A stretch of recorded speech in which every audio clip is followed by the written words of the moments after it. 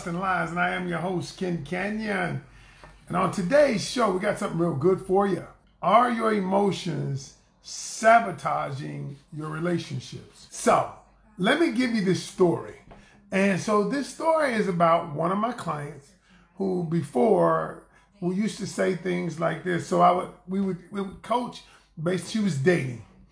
And during the date, things would trigger her things that the other person would say would trigger her to getting upset to like for instance if the person said something that was different politically than her viewpoint she would be like well you know what? Why you got to believe all that? I'm not believing that and i'm you know you know what? They're oppressing people and and basically the guy was like well i'm just simply saying my opinion and she would get triggered thus she would wonder why the relationship wouldn't move forward. And so a lot of times when you're in a relationship or you're trying to get in a relationship, based on her emotion, most she got triggered. And then what happens is what comes next is is because she feels like she got triggered, many times we feel like because we get triggered, we go into what I call either protection mode or defense mode or attack mode. Protection mode, defense mode, or attack mode. Now, one of these modes, because when we hear something, we internalize something that does not necessarily resonate with us or is in alignment with our belief system, we feel like we have to jump in one of these modes. And because we've been doing it so long, we feel like it's the way we should do it. So you go into protection mode. Protection mode is you are protecting yourself. So a lot of times you don't say anything. So you feel like you got to shut down, close down, close down around your beliefs so you don't communicate at all. Defense mode. Defending mode is that mode where where you feel like I have to defend who I am based on my beliefs. So you begin to defend yourself. Well, I believe this because it is. I believe this because men are this way, or I believe this way because this is what happened to me. And then, and then when you defense mode, it leads to lack of communication because now when I'm defending myself, I'm covering up. I'm covering up. I'm co- I'm jabbing. I'm covering up though. Okay, so but I'm defending myself. I feel, and then the third type of mode is the attack mode. Attack mode is when I'm like, okay, forget all that. I'm about to kill your ass. You know, I'm about to come at you right now because I don't, because honestly, I'm about to attack you. So we go into one of these modes. And then, but but when we go into the mode though, what happens is it comes across like we can't manage our emotions. And so when this female told me, she said she went out on a date and the guy started talking, sounded like an old boyfriend, and she said she instantly went into attack mode. I said, Well, do you understand what's happening? I said, Number one, there's two sides of your brain. You have your pain brain, okay, and you have your power brain. Your pain brain is the part of your brain that reminds you of everything you've done in the past or been through in the past. Everybody you've dated, the things that went wrong, the things that look like things you don't like. Your pain brain's whole idea is to protect you from pain, but it reminds you of the pain first. So when it reminds you of the pain, it reminds you of the stuff that's happened, but now it's trying to it's trying to protect you, so it reminds you it's like, don't do this. Don't date that fool because that reminds me of something that I've seen before. But your your power brain says is the power brain is the part of your brain that says, you know what, I'm okay with me no matter what happens. Whatever I learn from this it's cool. I'll take it. I'll learn from it. If it goes somewhere, fine. If it doesn't go anywhere, fine. All right, but I'm still gonna be me. I'm still gonna love me, and I can be myself regardless. So I don't have to attack them. I don't have to defend myself because at the end of the day, I love myself. And then I don't have to shut down. It's okay for me to speak my truth. Okay. And so where and so I told her, I said, you're speaking out of your pain brain because you don't know how to manage your emotions. And I said, so let I said, but the thing about it is, let's go over what happens when you don't manage your, your dog. I said, because you're not going to get the relationship you desire because you cannot manage your emotions. You don't know how. And I said, so let me go over. And so on another day, I probably will tell you how to manage them. But on this day, see, somehow, but this day, I'm just going to tell you what happens when you don't manage them what's happening in your relationships. But I got to tell y'all something. Recently, I was I'm a member of this cigar bar. All right. So recently, the owner of the cigar bar said something to me that I didn't like. Okay, and I felt like it had, and I could have been wrong, but I felt like it had a racial tinge to it. All right. Now, my one of my good buddies, my man, was with me, and he said, "Dude." When the dude said what he said, he said, It amazed me how you handled that. I said, Because the truth is, when I was younger, I didn't know how to manage my emotions, and that would have been a terrible situation. But because I know how to manage my emotions, and because I realize that the end goal is not me getting back at him clapping back at him based on what he said. The end goal is to be able to hang out with my guys so I don't want to get kicked out. So there's some things. So I thought about it. I was like, at the end of the day, it didn't matter. It didn't matter what he thought, okay? And I ain't gonna even go into what he said. So, but I want you to understand something. I'm going to tell you what happens to you when you're not willing to manage your emotions because there are so many people out there who will not have the relationship of their dream because they are unwilling to manage their emotions. So I wrote things down. I said, when you, what happens when you're not managing your emotions? Number one, you run people away from you and they'll never tell you why they ran away from you. See, when you cannot manage your emotions, and I got a surefire technique on how to manage your emotions when you get angry, how to get when, when you get upset, all of those things. And so when you don't manage, your emotions in a relationship or in a dating scene situation, the person runs away from you, but you never know why. They distance themselves from you, but you never know why. And so what happens is, is when you can't manage your emotions, when you're on 10 all the time, but you see it as Listen, what I just say, you you see it as either defending, attacking, or preserving, okay, or isolating. And so what what I what, I want you to understand is this: is that look, y'all. One of the things I want to tell you is if you begin to look at it like and, and understand how to begin to ask questions, how to begin to ask calibrated questions, in relationship situations because a lot of times y'all people say stuff and it's not what they said that pisses you off. It's how you internalized it. It's what you thought the meaning of it was. It's you it's what you thought they meant by what they said. And the truth is have you ever been around somebody y'all? You know what i'm talking about. And then the person says you now you said such and such. And the person says that's not what i meant at all. And because you never asked calibrated questions, you never figured out what they meant. Thus, you you you what you did was attach emotion to what you thought they meant, and then you begin to go in. You begin to go in, go off, go off, whether you're attacking, defending, whatever it is you're doing, and you realize at the end of the day, you're like, damn, I feel like a fool because that's not what they were saying at all. And so what the other person did, what the other person, they formulated an opinion about you already because you don't know how to manage your emotions. The second thing that happens when you don't know how to manage your emotions is this. You don't attract the person into your life that you want to. So we're doing a class called Manifest Your Life.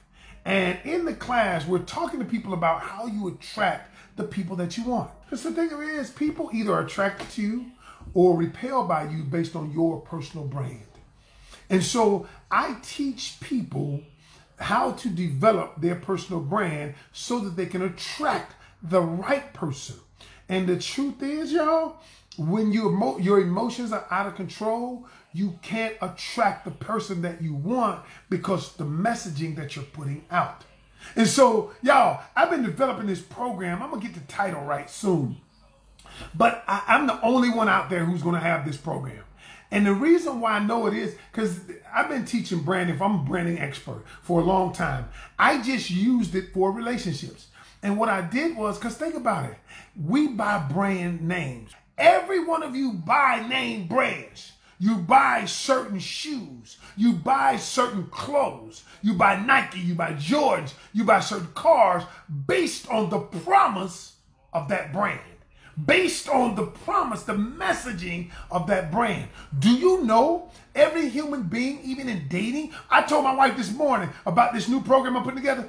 I said, You married me because of my personal brand, because of what I stood for and what I stood against.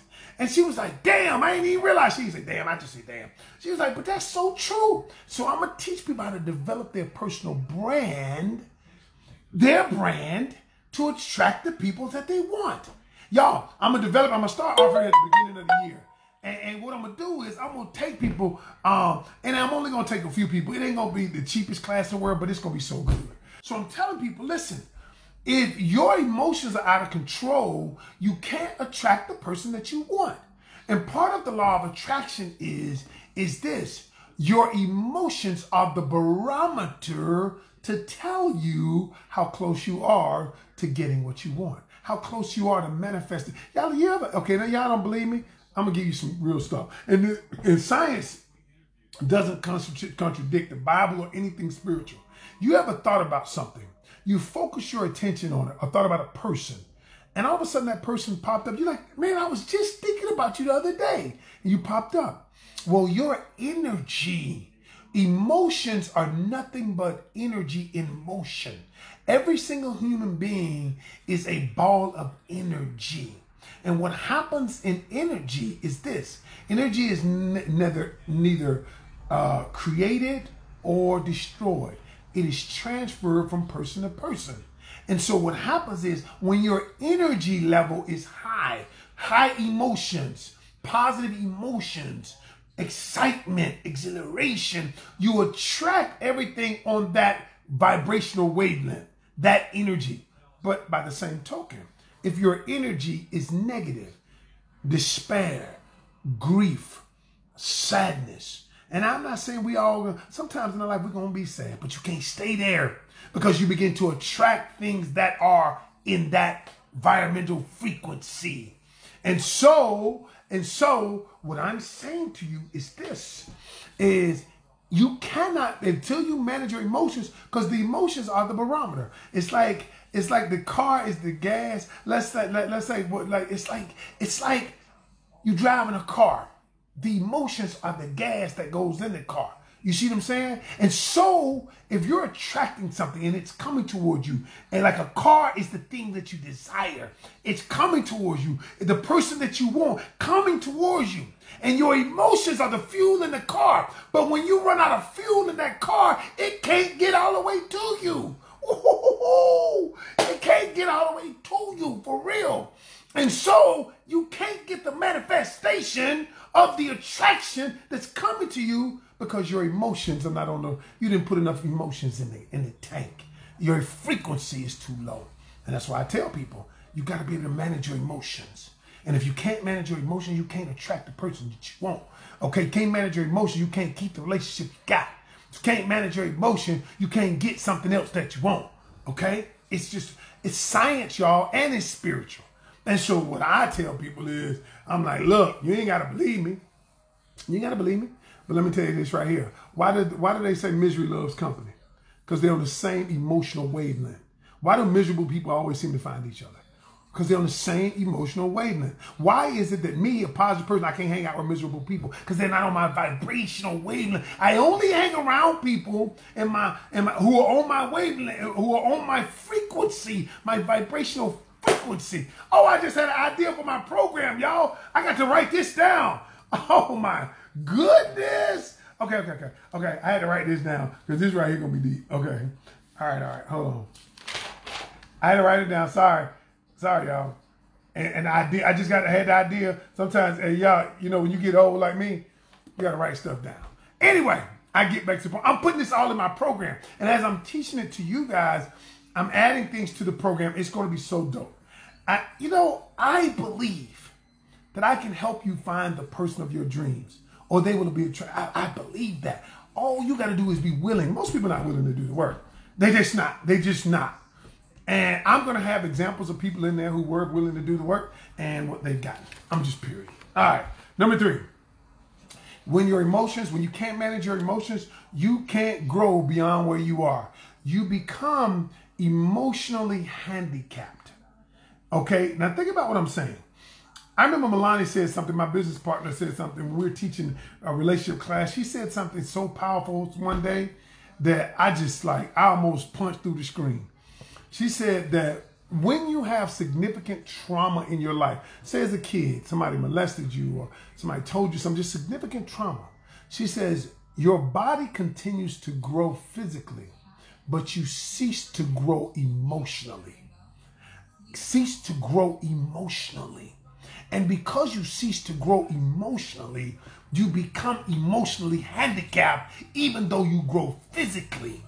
And so when you grow physically, you don't. And, and think about that for a minute, y'all. Um, um, and, and I'm just, I'm just saying you grow physically, but you become emotionally handicapped. And y'all, all I'm saying is, is look, we've got to be able to manage our emotions, but most people don't want to manage their emotions. They don't care about that. All they care about is I'm gonna give it to you the way I give it to you. And then I say, but how's that working out for you? See, this is I'm gonna teach you something real quickly, and then I'm gonna get to some of these comments. I'm gonna teach you something. We as a people, as people, we get so caught up in what's right and what's wrong. What's right and what's wrong. The truth is, y'all, what's right for me might not be. I'm not talking about you go out and kill somebody. That's wrong. I'm talking about what you believe. Some people say, well, that ain't right. Well, that's, see, in some relate, and I say, get out for that. I'm coaching a couple right now. Me and Melania are coaching a couple together. And I told them, uh, it's not about right or wrong. It is about, is it working or if it's not working. See, when you approach things, because some couples, what me and my wife do, some couples would never do it that way. They would never do it. But we say it works for us. It helps us stay together. It works. Like when I'll give you a prime example. When we buy something that comes into the household, like we'll buy something. I'm not putting it together. My wife will sit there all night and put it together. That's just like some men like, man, I gotta put that together. I'm not me. I'm not putting nothing together. My wife gonna put it together. Because that's what she does in our household. Some people might find out, might think that that's not appropriate. But for my household, it's appropriate. We don't get caught up in what's right or wrong. You're looking at other relationships and you're projecting. You're thinking, mine has to be like that. The truth is, absolutely not. It's okay to model somebody's relationship, but it's not okay to mimic their relationship. It's okay to model, not mimic. Some people want to be just like them. Forget being just like them. Instead of looking for an example, be the example. Be the example. We I established the Grand a long time ago. You know why? Because me and my wife might say anything around this house, say anything to each other, but we love each other and we that's just the way we communicate. Some couples come to us and say, I wish I could say, I wish I could talk like that to my husband. She was like, I wouldn't have it any other way. But that's not, we're not looking for an example. We're look, we are the example. And we look at it like this. We're looking for models, things we like to, but we're not looking to mimic anybody. And until you are willing to grow, until you're willing to get un, uh, uh, not handicapped, emotionally handicapped, look. And so until you have been taught how to manage them, all right, been taught how to manage your emotions, because what happens is people, a lot of times, I went into it at the beginning of the uh, uh, of beginning of this live on what, what they feel when they when they can't manage them. They feel like they're defending themselves, protecting them. They feel protecting themselves, defending themselves, or they're attacking someone else. And because they're in those three modes, they don't manage their emotions. But there is a tremendous, there's a specific way to how to how to do this. And y'all, my wife will tell you, I'm I am good at it now. Because before I used to just fly off the handle. I mean, I used to just have, I feel like I had an anger problem, which I did, I admit it. But now I know how to manage my emotions because I don't get caught up in what that is. I'm, I get caught up in number one, what is my goal? Okay, what is my goal here? Number two, is it worth it? Is it worth it for me to attack, defend, whatever with this particular per person? Sometimes y'all it ain't even worth it. We just want to feel better. And that's just it. If, if it doesn't matter, you know, the 555 rule. If it don't matter in five years, it ain't gonna matter in five days, so I ain't gonna give it five minutes. That's it. Five, five, five. If it ain't gonna matter in five years, what they say, it ain't gonna matter in five days, so I'm not gonna give it five seconds. I'm, I'm doing a class about personal branding, showing people how to develop their own brand so that they can attract the person of their dreams. Because many of y'all, you, you have a personal brand. Everybody has a brand. Everybody, whether you whether you created it on purpose or whether it had, had brand is nothing more than the perception that people have about you. It's a mental imprint that others have about you. You all have a mental imprint about Rolls Royce, a mental imprint about Bentley, a mental imprint about Costco, Walmart. They're all brands. You're a brand too. You just never could taken control of your brand. So I'm the first person, I'm a brand expert. I market. I've been doing it for years. Been on QVC, Home Shopping Channel, been in magazines around the country. I've been on reality shows because I know how to brand stuff. I know how to brand. Now I'm just transferring it to relationships. I'm, I'm the first person that ever did that, I think. I'm pretty sure I've been researching it for the whole week, last week. Nobody else out there is doing that. Nobody I can even find information on it. So I'm the one that's going to do it.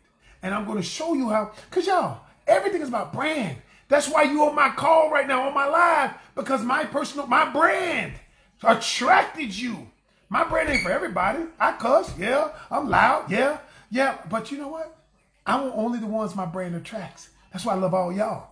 Okay? I'm not trying to get the ones that my brand doesn't attract. What we're trying to do is, well, here's where you make the mistake. You attempt to convince people to approve of your brand, to like your brand instead of finding the tribe of people or person who already approves of your brand. I'm not convincing you of anything.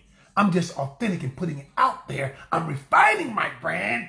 So now that I can attract the person who wants that brand.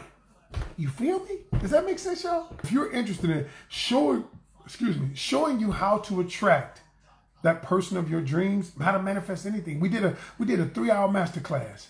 And I will give you, not only if you buy it, I will give you, I will give you one hour of coaching for free. All right, that's $300. I give it to you for free. All right. So look, if you're interested in that, inbox me. Interested in that, inbox me. So, your brand. Look, y'all, we'll get into it, but that's what it is today. Um, I'm to put that out there on my site. I'm to put the link if you're interested in that class. Uh, I'm gonna put the link and you can go get it or inbox me, whatever it is. But y'all, if y'all are interested in that class that's coming up about developing your brand, let me show you how to do everything from your profile to getting your emotions in check. It's a comprehensive thing. It's gonna be 12 weeks, three months. It's gonna be 12 weeks, and it, and it ain't the cheapest thing, but it's worth it. That's why I want with a few people, because I'm gonna delve in, look at everything you do, everything you doing, from the pictures you post to the messages you put out there, to the people you meet, and to the places you go. Everything. I'm going to dig up in your life. But you going to attract the one of your dream. And I got a testimonial about that too. It's got to be willing to do it. It's going to be a three month thing, and I'm going to go personal with it. All right? All right. I'm gonna look. I'm looking for 20 people for three months. I don't know more than 20 people. But uh, if you're interested in that, let me know. And when that comes, we'll do that. All right, we'll do that. But other than that, y'all, if you're interested in the Manifest Life class, this law of attraction is powerful. We're doing our master class, doing the master class for um, for half price today. And I'm gonna give you an hour of coaching, so you can't beat that. All right, y'all. I'm out. I'm done. That's my time. Hope y'all having a beautiful day. I'm Ken Kane, the host of Love, Lust, and Lies, and you guys have a wonderful day. And until tomorrow, remember, every journey starts with one step. Take yours today.